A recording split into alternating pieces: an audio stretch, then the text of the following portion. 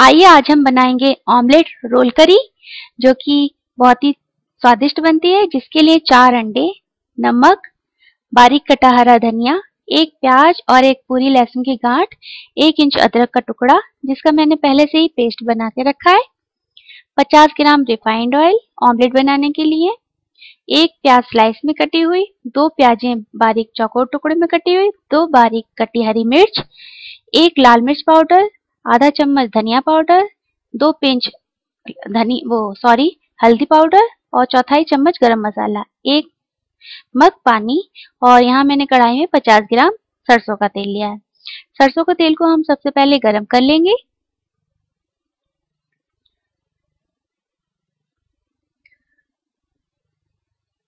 जब कभी भी आप तेल में छौंका लगाएँ तो उससे पहले आप गैस की हमेशा आँच को धीमा कर लें। अब यहाँ पर हमने एक प्याज स्लाइस कटी हुई है, वो डाल दी है। प्याज गोल्डन हो जाने पर हमने जो पेस्ट बनाया है, इसको भी हम इसी में ऐड कर देंगे।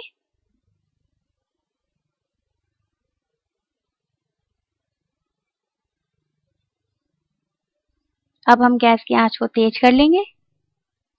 और जो हमने बारीक मसाले रखे हैं सॉरी सूखे मसाले जो रखे हैं, वो भी हम इसी में ऐड कर लेंगे।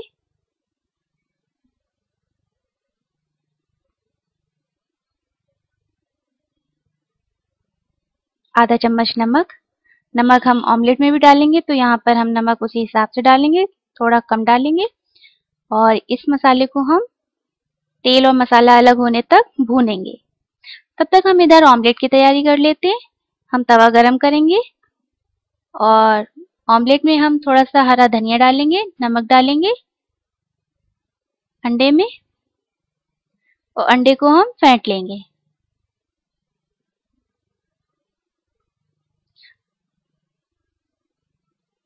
अब दो छोटे चम्मच हम रिफाइंड ऑयल डालेंगे तवे पर। हम चार अंडे के ऑमलेटों को दो भाग में बनाएँगे दो दो करके। इसलिए हम इसका मसाला भी दो बार में लेंगे इस प्याज के कलर चेंज होने हो जाने तक इसको हम इस पर पकाएँगे। इधर हमारा मसाला भी भुन रहा है। देखिए हमारी प्याज इधर सॉफ्ट हो गई है। और थोड़ी सी गोल्डन भी दिख रही है।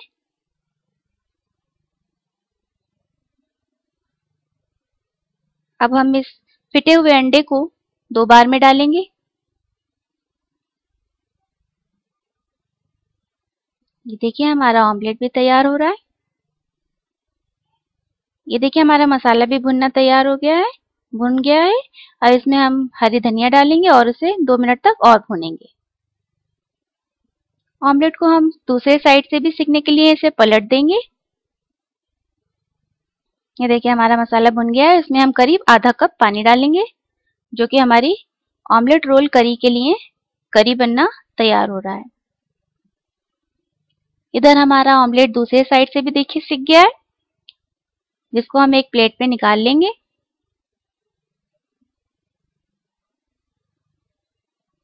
ये बनाना बहुत ही आसान है और बहुत ही स्वादिष्ट करी बनती है।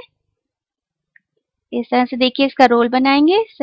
दोनों साइड से हम थोड़ा थोड़ा मोड़ देंगे और इसका एक रोल तैयार कर लेंगे। इस तरह से। ये देखिए हमारा ऑमलेट रोल तैयार हो गया। इस तरह से हमने दो ऑमलेट रोल बना के तैयार कर लिए हैं और हमारी करी भी तैयार हो गई है। इसमें हम ऑमलेट रोल को डाल देंगे। जिससे कि मसाले और तेल का और सभी सारे फ्लेवर जो इसमें ऑमलेट में भी आ जाए। और हमारी ऑमलेट करी तैयार है। इसे हम दो मिनट तक और इसी में पकाएँगे। ये देखिए, हमारी ऑमलेट करी सर्व करने के लिए बिल्कुल तैयार है। आप इसे सर्विंग बॉल में या प्लेट में निकालने के लिए तैयार है ये। गैस बंद करें और इसे सर्व करें।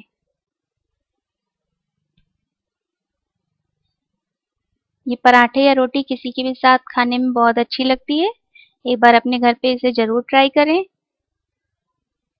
इसका और करी भी इसमें और मिला दें अच्छे से।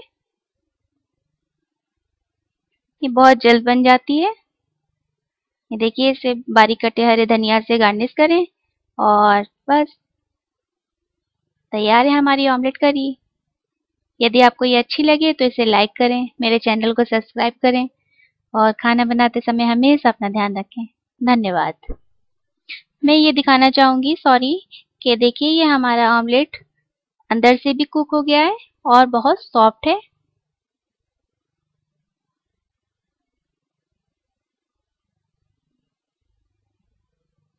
ओके